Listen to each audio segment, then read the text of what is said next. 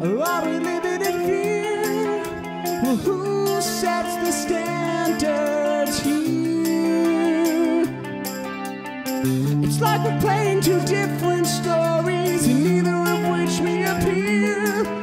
But now is never the time to change the rules. We